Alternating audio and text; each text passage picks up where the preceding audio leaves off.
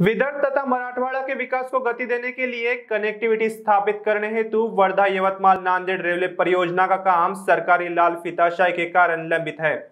जी हाँ, जानकारी के मुताबिक इस रेलवे परियोजना के लिए राज्य सरकार को केंद्रीय रेलवे मंत्रालय के ज़रिए मध्य रेलवे प्रशासन को जो बची राशि देनी है, उसके लिए रेलवे प्रशासन ने इस वर्ष राज्य सरकार से कोई मांग नहीं की है।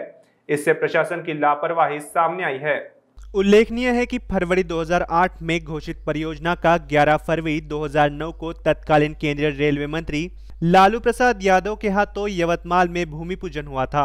वर्ष 2021 समाप्ति की कगार पर है, किंतु अब भी दो सौ चौरासी किलोमीटर का रेलवे मार्ग पूरा नहीं हो पाया है। राज्य सरकार अब तक केंद्र को पाँच करोड़ पैंसठ लाख रुपए मध्य रेलवे प्रशासन को सौंप चुका है।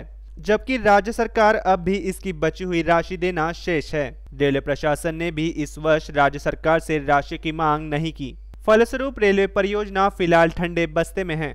वहीं दूसरी ओर रेल मार्ग निर्माण कार्य को आगे बढ़ाने के लिए केंद्र सरकार और राज्य शासन के साथ रेलवे मंत्रालय एक दूसरे की ओर उंगलियाँ दिखा रहे हैं। फरवरी 2009 में जब भूमि पूजन हुआ, तब दो सौ चौरासी किलोमीटर लंबे इस मार्ग की प्राथमिक निर्माण कीमत दो करोड़ पचपन लाख थी। जो कि बढ़कर तीन हज़ार एक सौ अड़सठ करोड़ हो चुकी है। राज्य सरकार पर अब भी करोड़ों की राशि बकाया है। रेल मार्ग के लिए कुल तीन हेक्टेयर ज़मीन व यवतमाल ज़िले में दो सौ इक्यावन हेक्टेयर ज़मीन का अधिग्रहण अभी बचा है। इसमें 130 हेक्टेयर क्षेत्र की ज़मीन वन विभाग के तहत है।